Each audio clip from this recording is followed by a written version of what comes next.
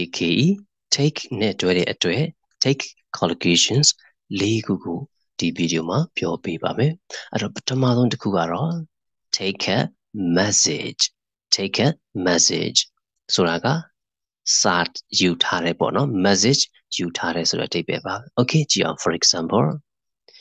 the manager is out can i take a message the manager is out can i take a message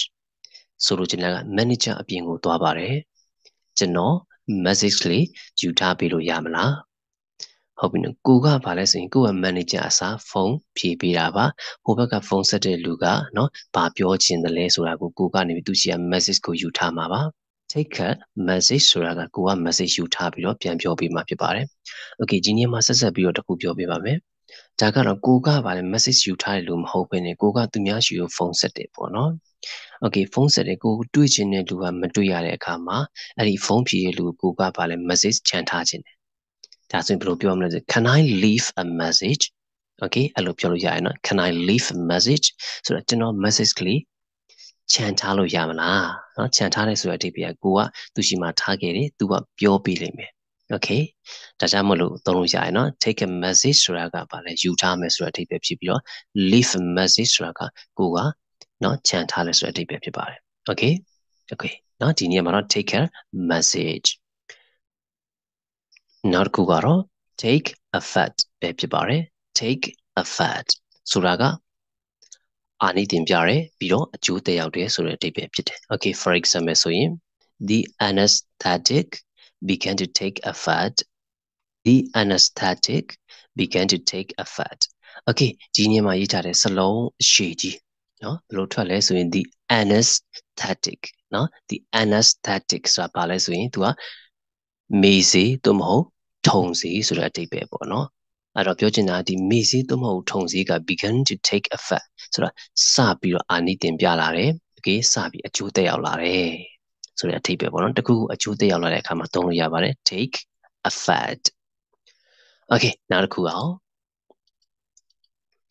take a step take a step okay step ကမူလအဓိပ္ပာယ်ခြေလှမ်းနေပေါ့เนาะတစ်စင်းတစ်စင်းတက်သွားတဲ့ခြေလှမ်းတွေကို step လို့ခေါ်တာကို okay take a step အဲ့တော့မြန်မာလိုကတော့ခြေလှမ်းပါပဲเนาะခြေလှမ်းလှမ်းနေဆိုတဲ့အဓိပ္ပာယ်ပေါ့ okay ကြည့်ရအောင် for example I take a step towards the door I take a step towards the door ဆိုတာကျွန်တော်ကတကားရှိကိုခြေလှမ်းနေလှမ်းသွားပါတယ် okay I take a step towards the door okay နောက်ဆုံးတစ်ခုကတော့ take a while take a minute သို့မဟုတ် take 5 minutes เนาะ3မျိုးပေါ့နော်၃မျိုးတွေကကြိုက်တာကိုသုံးပါရှိရ take နဲ့တွဲပြီးတော့ကြိုက်တာသုံးပါ take a while သို့မဟုတ် take a minute သို့မဟုတ် take 5 5 minutes လည်းသုံးလို့ရပါတယ်အဲ့တော့ဒီနောက်မှာအချိန်လေးကကိုယ်စိတ်ကြအပြောင်းလဲလုပ်ပြလို့ရပါတယ်အဲ့တော့အထိပ္ပယ်ကတော့ take ရဲ့အထိပ္ပယ်ကိုအဓိကယူပါတယ်เนาะ take ကကြားတယ်ဆိုတဲ့အထိပ္ပယ်ပါ take ကြားတယ်အဲ့တော့ဒီအထက်အချိန်ကပြောင်းသွားမယ် okay for example ကြည့်အောင် it might take a while for this file to upload it might take a while for this file to upload ဆိုတော့ကဒီ file လေးကို upload လုပ်ဖို့အတွက်เนาะဒီ file ကိုပေါ့เนาะဒီ file ကို upload လုပ်နိုင်ဖို့အတွက်ဆိုရင်သူကကြာနိုင်တယ်ဘယ်လောက်ကြာနိုင်မလဲဆိုရင်ဒီမှာစလုံးအနေလေးနဲ့ပြတဲ့ဟာလေး take a while ဘယ်လောက်လဲဆိုခဏတော့ကြာမယ်ပေါ့ okay ဒီနေရာလေးမှာဒါဟုတ်ပြီနော် a while ဆိုနေ ဆိုတဲ့နေရာလေးမှာ a minute ဆိုလို့ရှိရင်ဘယ်လောက်ကြာမလဲ10 minute လောက်တော့ကြာမယ် okay take 5 minutes လို့ထည့်မယ်ဆိုရင်ဒီနေ့မှာ9 minute တော့ကြာမယ်အဲ့တော့ဒီ case take ရဲ့နောက်မှာကြိုက်တဲ့အချိန်ကိုထည့်မယ်နော်အဲ့ဒါဆိုရင်အဲ့ဒီကြာခြင်းကအဲ့ဒီအချိန်ဖြစ်သွားပြီအဲ့တော့ပြီးတော့အခု take ရဲ့အထိပ္ပယ်ကကြာတယ်ဆိုရင်ဟုတ်ပြီနော်အထိပ္ပယ်ဖြစ်သွားမယ် okay